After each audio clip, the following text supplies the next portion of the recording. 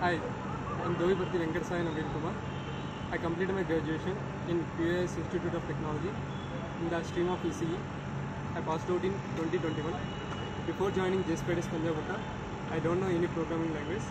After joining, I learned Java language.